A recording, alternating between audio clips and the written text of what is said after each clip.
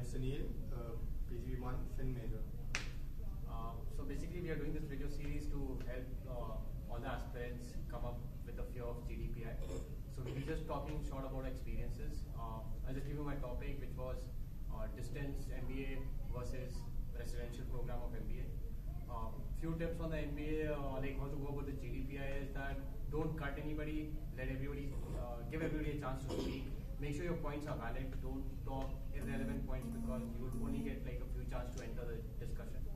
So make sure uh, your points are relevant and just stick to the point. Make sure it's not a chaos because the moment it's a chaos, the panel will be put off from the entire uh, all the group members. So you do not get any points of shouting or making a chaos. So don't do that. Mm, That's it. And for as far as the PI is concerned, um, just focus on uh, few questions like uh, about yourself, which is very important. This is the this is one thing that will drive your entire interview. Everything will be linked with this. So in short, I'll say just uh, put yourself and draw a uh, map about yourself and things related to it. So and make sure you know it's not about knowing everything. It's about knowing the relevant things and knowing at least having a basic idea about everything. So if you're an engineer, probably you could uh, just work on the basics of the subjects that you want. We don't need to know it in detail. Guys with work-ex, just make sure you understand what work you have been doing. Understanding the work that you do and the relevance of it is very important to the panel. And just be clear about what you're speaking and have a clear roadmap about how you're planning to go about your MBA and what are your future goals are. Just be clear, like you should be crystal clear about it. Well, the, the topic uh, given to me was a current affairs topic. The topic was uh, what are the expectations that Indian population has with the new government. The actually the GD was uh, good enough. Uh, first of all, there was a bit of chaos. Then uh, it went smooth. Uh, there were quite a new points that were included by all the people. But then what happened was at the last, uh, the moderator told us that uh, uh, give us one a a couple of minutes to speak about your points. Uh, they allowed everyone to speak and give their perspectives to conclude. About the PI, it was a casual talk again. Uh, being a having a work-ex, uh, most of the time went uh, through what I did at my workplace. Then and even there were, there were quite a few questions about engineering, why GIM, why finance. Those are one of the cliche questions that were there. So overall, it was a good experience. Just be confident, and what you are speaking, you should at least, uh, if you are giving an answer, there should be couple of uh, uh, questions that would be given back to you. So you should be prepared for that also. So if uh, you are saying something, uh, if there is a why this, why that, so you should be even prepared for that. Why uh, why you are, uh, why this, and uh, why that. So you should be even prepared prepared for that. Uh, yeah, my GD topic was again current affairs, and it was about uh, the Aam Aadmi Party and whether activists are required in the political scenario in India right now. So, because our GD was really good, I've seen that uh, a lot of the people from my panel got through into GIM. So, make sure that you have a clean GD. Don't shout, don't scream, don't cut anyone off, don't be rude and uh, you should be fine. Just make sure you get, have those three, four vital points that you bring out.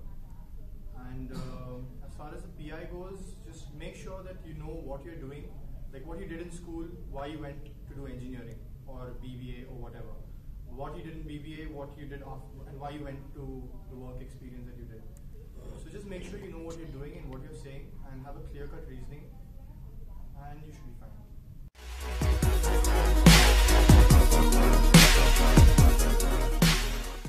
Hi, so this part of the video is for you, for you guys to first to show what uh, GIM has to offer to other Fin enthusiasts.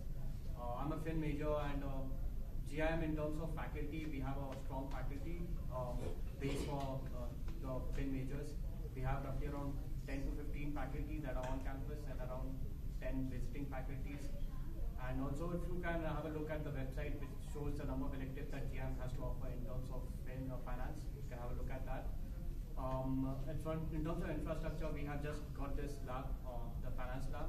We have around roughly around 20 terminals over here, filters, and uh, it's accessible to everyone. Anybody who wants to access it can do it, and there are no time limits on that.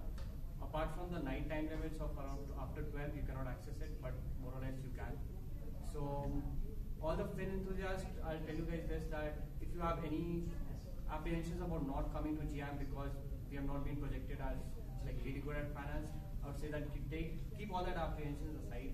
All of us are here and we'll always be ready to help you guys because we got a lot of help from our PGP2s and the same trend, uh, it's a legacy of GIM that we always try to help the PGP1s. So when you guys come here, we'll have a lot to offer you in terms of finance. And uh, talking about the batch profile, it's improving day by day. I mean, uh, year by year rather. Uh, the batch profile that last year was uh, there were out of 240, there were 70 at max 75 people uh, who took FIN as a majors. But this time we are expecting it to somewhere around 90 to 100. So the improvement shows that the quality of uh, education that is given by the faculties and even the peer group that the people are uh, getting uh, here as a uh, in- terms of total batch. So even that's improving. So uh, the infrastructure even for uh, finance is improving. So even the that's completely shown in the increase in the number of batch profile. Uh, as far as the club board I mean, uh, you have uh, Sophia and Vinidhan. Sophia is the finance club of GIM, and Vinidhan is the student investment fund that has uh, just been incepted in the last couple of years. So, I mean, our batch, our seniors were the one who founded uh, Vinidhan, and what we do right now at Vinidhan is uh, in line with industry expectations of equity analysis and uh, technical research and all those fundamental research and everything else. So, uh, keep it short, I mean, I think uh, our batch has a lot to offer, and we'll have you'll have a very strong finance batch if you do end up coming to GIM.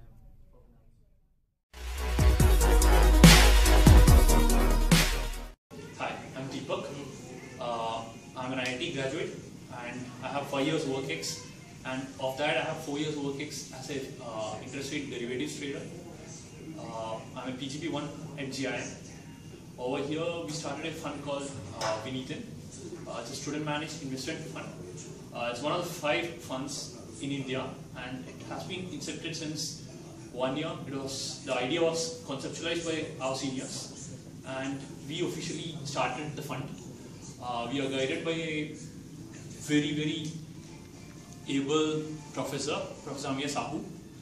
And over here we do equity research, we do technical analysis, we do fundamental research, we create reports, we have portfolio management, uh, and this gives a real life experience into what theory we study during our course. And most of the work which we do are more than what we cover normally in a two-year MBA course. And this is this has been a huge learning curve for me and for everyone else. And as a result, as you can see, we already have four CFA level one students here, and most of them are preparing for CFA level two as well.